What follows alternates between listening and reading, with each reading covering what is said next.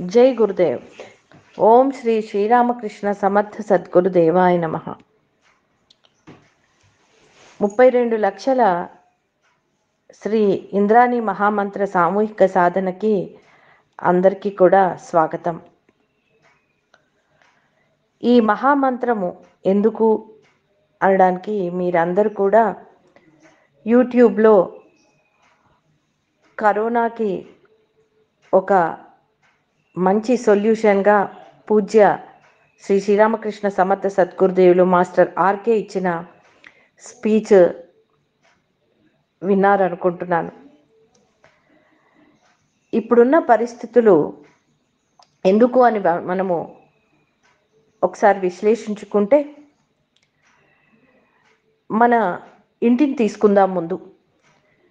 ఇంటిని శౌచంగా పవిత్రంగా శుద్ధిగా ఉంచకపోతే పురుగులు క్రిమి కీటకాదులన్నీ కూడా ఆకర్షితమవుతాయి అలాగే అతి పవిత్రమైన భగవంతుని దేవాలయమైన మానవ శరీరాన్ని కూడా మనము శౌచంగా శుద్ధిగా ఉంచకపోతే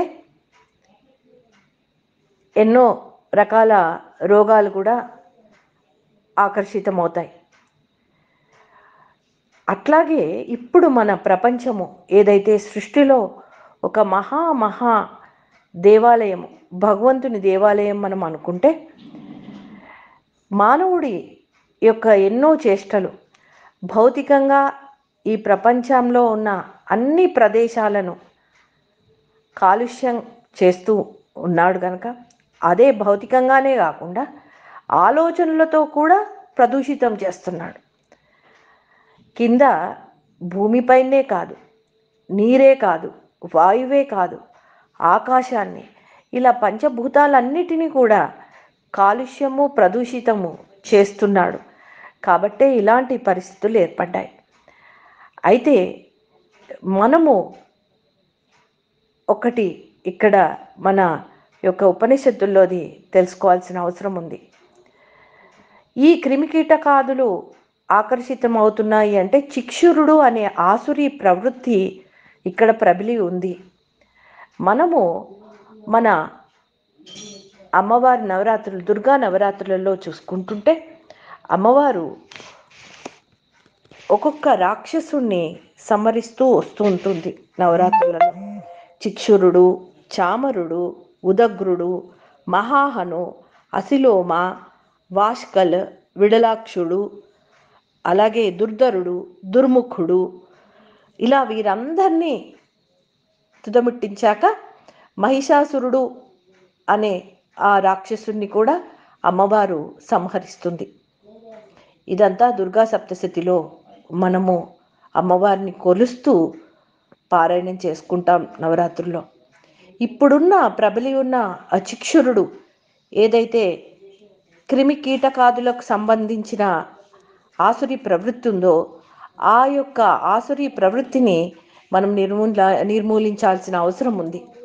అందుకొరకే అర్గలా స్తోత్రంలోని ఇంద్రాణీపతి సద్భావ పూజితే పరమేశ్వరి రూపం దేహి జయం దేహి యశోదేహి దిశోజహి అంటూ అమ్మవారిని మనం స్తోత్రం చేస్తూ ఆ దైవీ శక్తిని మొత్తం ప్రపంచానికి విస్తృతం చేద్దాము.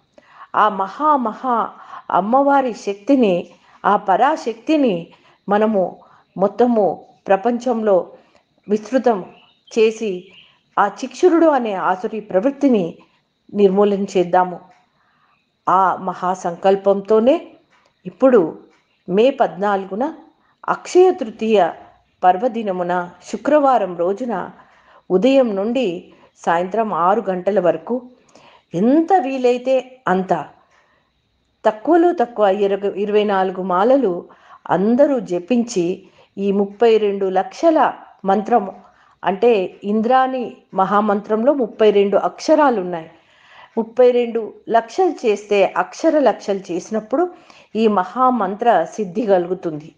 ఈ సిద్ధితో ఈ మహామంత్ర సిద్ధితో ఈ శక్తితో మీరు మీ కుటుంబాన్ని సంరక్షించుకుంటూ అలాగే ప్రభ ప్రపంచంలో ఉన్న ఈ ప్రబలి ఉన్న ఇలాంటి పరిస్థితిని మనమందరం నిర్మూలించి నివృత్తి చేసేసి అందరికీ సుఖమయమైన ఆనందదాయకమైన పరిస్థితిని ఏర్పరుద్దాము.